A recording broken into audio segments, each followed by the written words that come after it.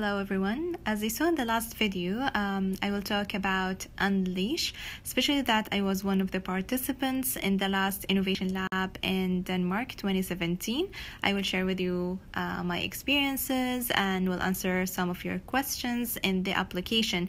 And um, we'll, let, uh, we'll tell you some uh, information about this um, Innovation Lab and what really Unleash is about.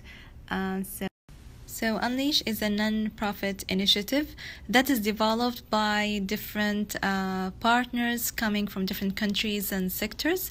Uh, the idea of Unleash is like to source and get uh, 1,000 talents from all over the world just to work on the sustainable development goals, uh, the global goals by the United Nations.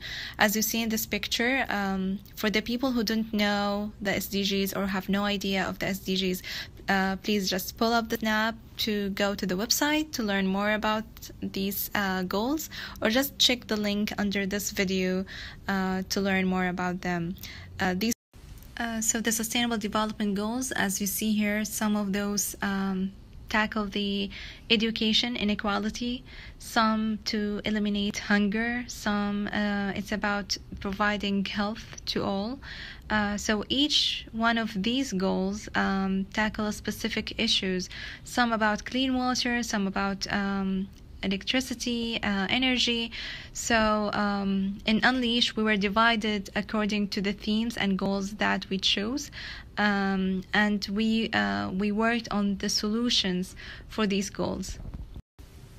So the idea of bringing 1,000 talents from the whole world is uh, after the innovation lab, each of us will go back to his or her country and work on uh, the solution more and more, or maybe to keep going on the project.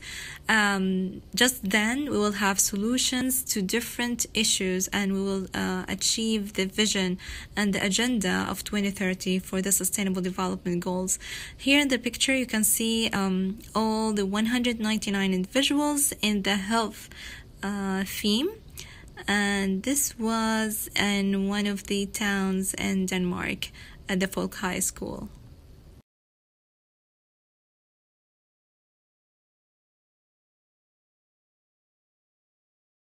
So in this innovation lab, you will work with uh, team members and you will have facilitators from different organizations that will um, who will help you uh, in your ideas and you will go through this innovation process design thinking uh, you will get an ongoing support of your ideas um, and uh, they will accelerate your ideas and partner you with different companies ngos governmental agencies just to bring your ideas to life.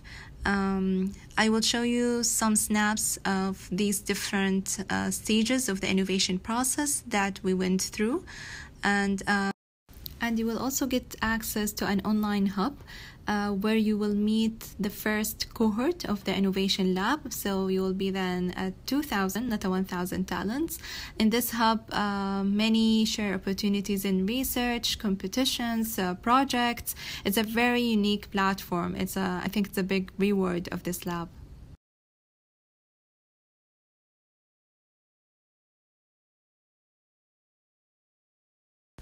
So I have received a question about um, what type of people uh, are accepted in this program, who are the SDG talents. Um, you can find uh, the answer here in the website. And if you, if any of these conditions uh, fit you, um, they said that like the age uh, should be between 20 to 35 but still the age is not restriction. If you find yourself um, having an impact in your workplace um, in your field um, if you find yourself innovative talented or passionate about solving some issues and problems around you just apply and you never know you you you might be accepted in the program and you might do something really impressive um, through the program Um, with the global connection. To give you more idea about the participants, uh, this is from the first cohort uh, who participate in the first Unleash Lab in Denmark, uh, 2017. As you see here, uh, the 1,000 talents came from 129 countries, and um, so I was the one from Saudi, and there was um, like from Syria, Lebanon, um, from Asia, uh, America, Africa uh, so from, from all over the world, and the age range um, was from 20 to over 30 years old, as you see here. Uh, there was uh, also both and both male and female participants, and as you see here, uh, most of the uh, most people are academics, either working in universities or students themselves, uh, entrepreneurs or intrapreneurs or tech experts. Um, so as you see from this picture, like the opportunity is open um, to anyone who find themselves like passionate and and want to solve an emerging issue uh, in their field or in the world. Um, so just apply and all the best. Um, so someone asked about the application to Unleash and what did I write exactly in the application. I will just go through the form and um, show you what type of questions are there uh, just to give you an idea. Um, so there's a chance to be nominated, but I myself wasn't nominated. Uh, there's a chance to be accepted without that. So um, just fill all the questions here, the regular questions of the name and the country and all of that. Uh, then you have to choose your passion and insights from all the SDGs, like which uh, goal you uh, want to solve and uh, it's your priority. And for me, because I'm a dentist and in public health, um, I chose uh, the health and well being but still you can choose any other goal. Depend um, depends on your passion and your projects and what kind of issues you want to solve. Uh, for example in the health theme there was someone uh, in fashion with us. So there's no need like to have like a background in this because in, in the second question you will actually say the reason why you chose uh, this sdg as your priority um, and then you can choose another priority as well the second priority. Um, then you can uh, put what insight that you have about around this sdg what kind of problems you you've seen or um, and each question actually has um, its answers under uh, uh, its explanations sorry under the uh, under the boxes. So you can understand more what they want. Um, also what kind of ideas that you have and solutions for this um, SDG goal.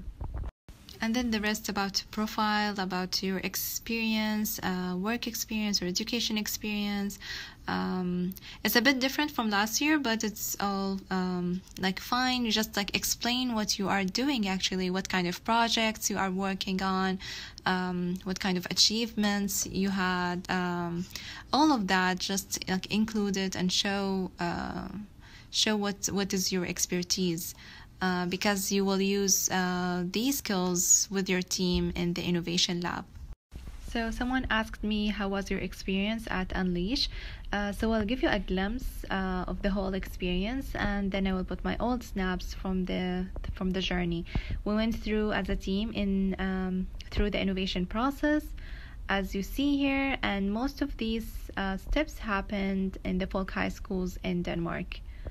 So um, we went through a design thinking process where we used uh, an activity cards. With it um, different activities to work on the problems to frame them and to select an idea within a team and then to do a prototype and test the, these prototypes.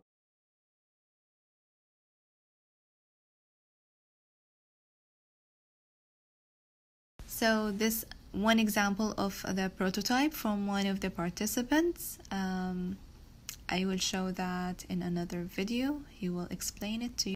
So, and this was at the marketplace uh, where we tested our prototypes with the community, with the people to have their feedback. Um, so, after that, we uh, presented our projects uh, to our peer talents and investors and bestseller in Denmark. So, one of the amazing places that we went to uh, in Denmark was the art museum. It was reserved for our regional meetings.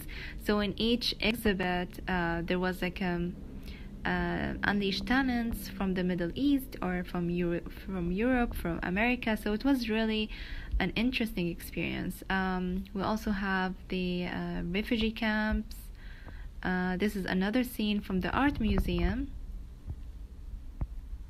And in the award show, um, the party we had uh, some uh, unique guests. We had the Prime Minister and the Princess Mary of the Denmark, Ashton Kutcher, the founder of Khan Academy, Salman Khan. All of them uh, delivered an amazing and inspiring speeches at the award show.